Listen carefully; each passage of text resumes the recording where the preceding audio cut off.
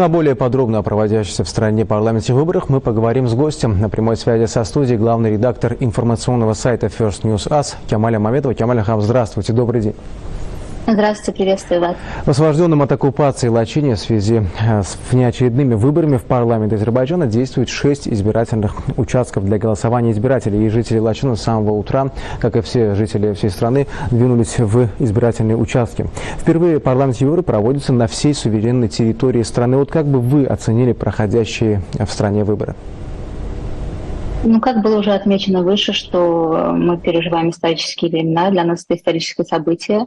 А первым долгом это выборы, это восстановление прав Азербайджана и всего азербайджанского народа, которые нарушались в течение многих лет.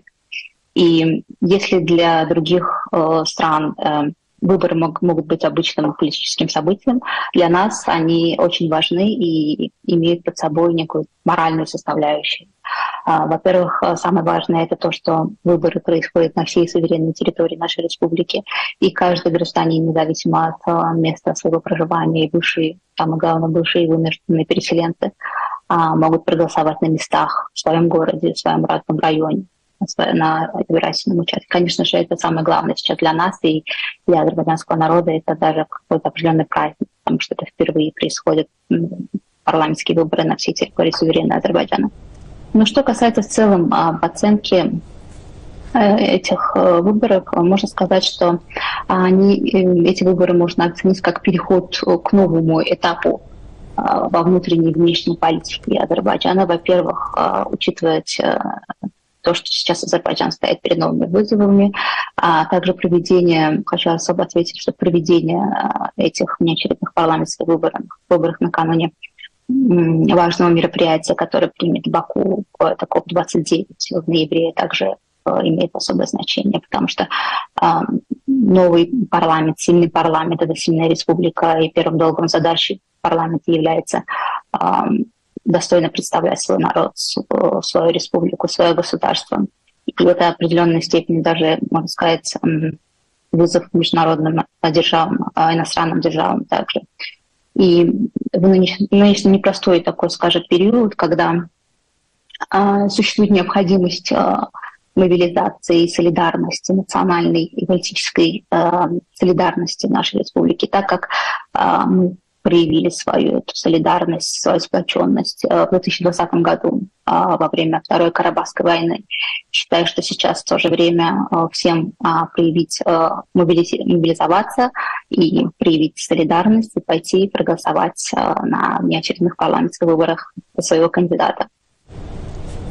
Ну вот как раз имя, скажем так, перед, э, достижение большего да. успеха нашей страны. Да, ну вот как раз таки э, за выборами э, наблюдать будут 598 аккредитованных международных наблюдателей. И вот международные наблюдатели отмечали очень дружелюбную атмосферу и прозрачность на проходящих выборах. Вот почему так важно присутствие именно международных наблюдателей на выборах, по-вашему? А, вообще, естественно, присутствие международных наблюдателей крайне важно с точки зрения проведения прозрачных, честных выборов, чтобы а, кандидаты, избиратели, политические партии чувствовали, что выборы проходят честно. Ну, конечно, это относится к тем международным структурам и наблюдателям, которые объективно следят за ходом выборов э, и представляет затем объективные отчеты. А, но, к сожалению, э, мы знаем, что как вы ответили, 598 международных наблюдателей зарегистрировано, которые представляют 69 стран. И также три международных аккредитации будут э, представлять экзит-полы. А, и мы очень надеемся, что большинство из них предоставит объективные отчеты. А, но мы также готовы к тому и к другому развитию событий, что мы знаем, что определенные структуры определенные организации, они готовят э, свои отчеты задолго, делают наброски, скажем так, даже задолго до того, как отправят своих наблюдателей э, в Азербайджан. Э, но мы и не боимся, скажем, этого, и несмотря на прошлый негативный опыт, э, мы все равно пригласили данных наблюдателей в нашу страну, и доказательство того, что выборы происходят, проходят в нашей стране в честной, справедливой и прозрачной обстановке. Ну, Кианахам, конечно, немаловажную роль играют э, в проведении выборов это представители медиа есть. То есть как бы вы, как представитель СМИ, вот оценивали работу журналистов в проведении парламентских выборов в стране? Ну, первым долгом хочу отметить, что для журналистов это тоже первым долгом праздник, самый большой праздник для журналистов. Почему? Потому что э, сегодня азербайджанский журналист может вещать с избирательных участков, независимо от его расположения, из Ханкенди, из Лачина, из Шуши. То есть э, мы испытываем огромную гордость, э, то, что является свидетель, являемся свидетель, свидетелем данных событий и имеем возможность вещания с любой точки нашей республики. И, естественно, работа журналиста крайне важна, крайне ответственна. Мы можно сказать, журналист также э, определенную наблюдательскую миссию выполняет. Э, и журналист выполняет работу еще задолго до того, как начнутся парламентские выборы. Мы, самое главное, передаем и оперативную, честную, прозрачную информацию для граждан, оповещаем о том, почему важно прийти на выборы, оповещаем о кандидатах, ну, затем под событий. Самое главное освещать ну, как я уже отметила, оперативно и непредвзято. Естественно, могут быть э, какие-то негативные факты. То есть это нормально, и это даже естественно. Если бы их не было бы, это было бы, конечно, странно. И самое важное — передавать об этих фактах так, как они есть, а не перевирать, не делать сенсации.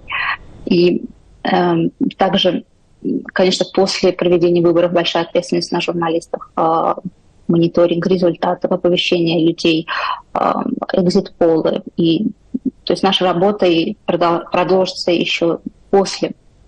И я хочу призвать граждан сейчас в условиях глобализации, цифровизации и прочее, когда граждане имеют доступ, а, неограниченный доступ через любую платформу для получения информации. Я просто хочу, чтобы а, призывать граждан, чтобы они получали достоверную информацию именно с официальных, скажем, медиа, будь то информационные сайты, будь то телевидение или информационное агентство, а, чтобы они верили, получали информацию только оттуда и не, не верили тому, что происходит э, в соцсетях. И, потому что сейчас мы переживаем такой период, что недоброжелатели могут делать различные вбросы и распространять неправдивую информацию.